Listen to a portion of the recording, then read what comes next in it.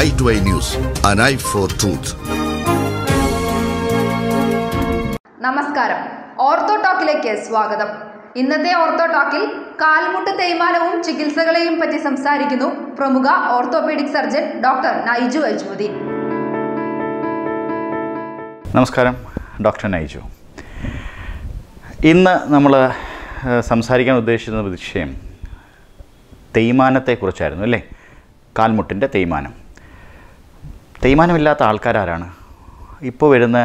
ഏകദേശം എല്ലാ വേദനകൾക്കും ഒരുപക്ഷെ ചില പേഷ്യൻസെങ്കിലും എങ്കിലും പറയാറ് എൻ്റെ മുട്ടിന് തേയ്മാനം എന്നുള്ളതാണ് പക്ഷേ പറയുന്ന ആളുടെ ഏജ് നോക്കുമ്പോഴാണ് വിഷയം ഇരുപത്താറും ഇരുപത്തേഴും മുപ്പതും വയസ്സുള്ള ആൾക്കാരെല്ലാം ഒന്ന് പറയുക എൻ്റെ മുട്ടിന് തേയ്മാനം എന്നാണ് മനസ്സിലാക്കിയിരിക്കുന്നതെന്നാണ് അപ്പോൾ എന്താണ് തേയ്മാനം സി ഏതൊരു മെഷീനറിക്കും അതിൻ്റെ റണ്ണിങ്ങിൽ വരാവുന്ന ഒരു ഭാഗമാണ് തേയ്മാനം എന്ന് പറയുന്നത് എന്ത് മെഷീനും ആയിക്കോട്ടെ കാറ് ബൈക്ക് സ്കൂട്ടർ ബിയറിങ് എന്തിനും അതിൻ്റെ റണ്ണിങ്ങിൽ കാലക്രമേണ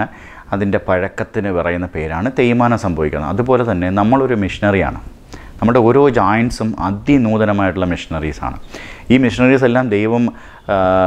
സംഘടിപ്പിച്ച് വെച്ചിരിക്കുന്നത് അല്ലെങ്കിൽ നിർമ്മിച്ച് വെച്ചിരിക്കുന്നതെന്ന് പറഞ്ഞാൽ മനുഷ്യനിർമ്മിതമായിട്ടുള്ള ഒരു മെഷീനറീസിനെയും കോമ്പൻസേറ്റ് ചെയ്യാൻ പറ്റാത്ത രീതിയിലാണ് അതായത് മനുഷ്യനിർമ്മിതമായിട്ടുള്ള ഒരു മെഷീൻസിനും ഇത്രയും വിറ്റി ഇത്രയും കാലപ്പഴക്കം ഓടി നിൽക്കാൻ കഴിയുന്നില്ല കാരണം ഏതെങ്കിലും ഒരു കാറ്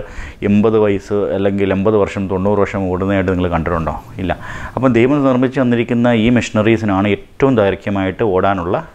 ഒരു ഒരു കഴിവ് ദൈവം തന്നെ സൃഷ്ടിച്ച് തന്നിരിക്കുന്നത് അല്ല ഇത് ഏറ്റവും പ്രധാനപ്പെട്ട ഒരു ജോയിൻ്റാണ് നമ്മുടെ മുട്ട് ജോയിൻറ്റ് കാൽമുട്ട് ജോയിൻറ്റ്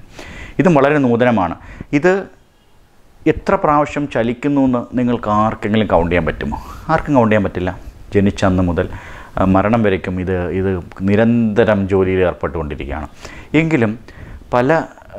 പ്രായക്കാർ ഇപ്പോൾ തൊണ്ണൂറും നൂറും ഒക്കെ വയസ്സുള്ള ആൾക്കാരൊക്കെ യാതൊരു പ്രശ്നമില്ലാതെ മുട്ടും കൊണ്ട് നടക്കുന്ന നമ്മൾ കണ്ടിട്ടില്ലേ അവർ എങ്ങനെ ആ മുട്ടിനെ ഉപയോഗിച്ചു എന്നുള്ളതാണ് അതിൻ്റെ രഹസ്യം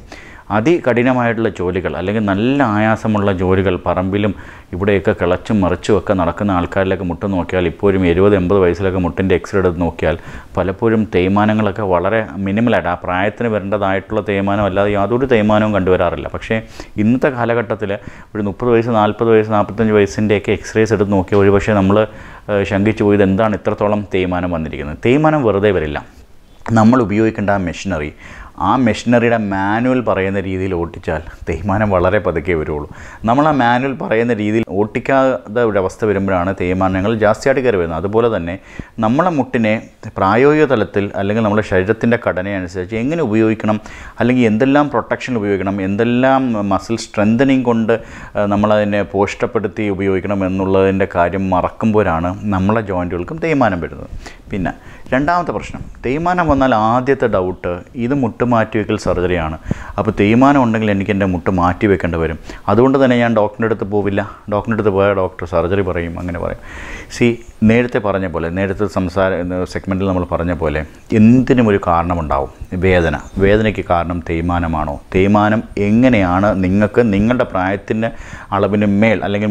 പ്രായത്തിൻ്റെ അളവിന് മുന്നേ ഇത്രയും തേയ്മാനം കയറി വന്നാൽ അതിനൊരു കാരണമുണ്ടായിരിക്കാം അത് ചിലപ്പോൾ ലിഗമെൻറ്റ് ഇഞ്ചറി ആയിരിക്കാം മെനസ്കൽ ഇഞ്ചറി ആയിരിക്കാം അല്ലെങ്കിൽ മുട്ടിൻ്റെ ഘടന വ്യത്യാസമായിരിക്കാം ജന്മനായുള്ള ഒരു ഒരു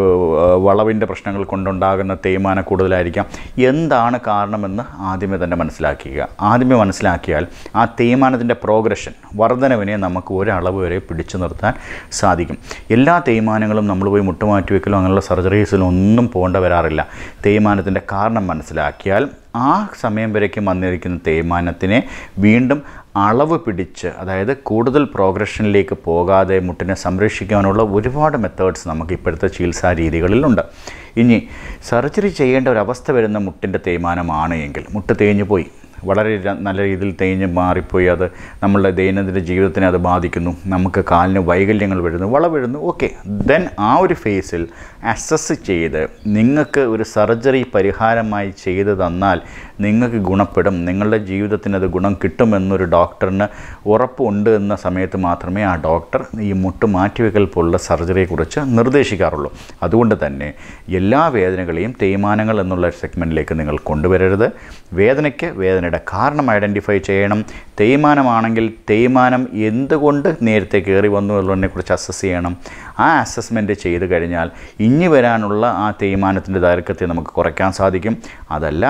പൂർണ്ണമായിട്ടും തേയ്മാനം എന്നുള്ള പ്രശ്നം നമ്മളെ മുട്ടിനെ ബാധിക്കുന്നു വൈകല്യങ്ങൾ വരുന്നു നമുക്ക് വേദന സഹിക്കാൻ പറ്റുന്നില്ല ജീവിതചര്യകളെ മാറ്റിമറിക്കുന്നു അങ്ങനെയുള്ള സംവിധാനം അങ്ങനെയുള്ളൊരു പ്രശ്നങ്ങളിലേക്ക് വരുമ്പോൾ നമ്മൾ സർജറിയെക്കുറിച്ച് ചിന്തിക്കുകയും ചെയ്യുകയും ചെയ്താൽ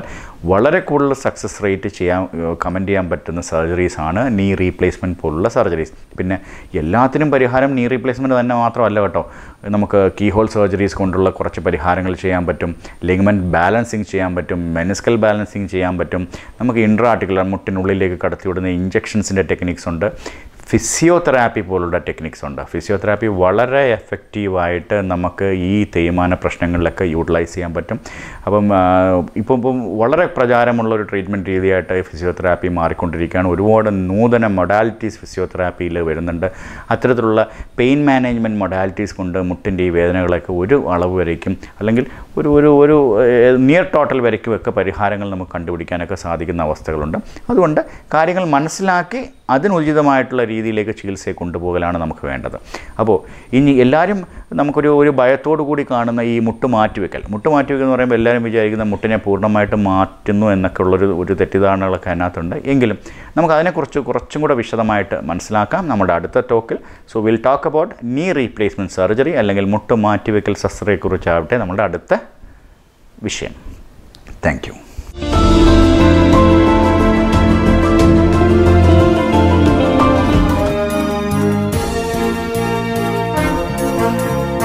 Eye to Eye News, an eye for truth.